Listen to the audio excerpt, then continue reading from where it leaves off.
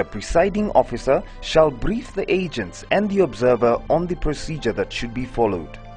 They are required to sign in the polling station diary and also sign declaration forms that show that they have been allowed to serve as witnesses to the electoral process.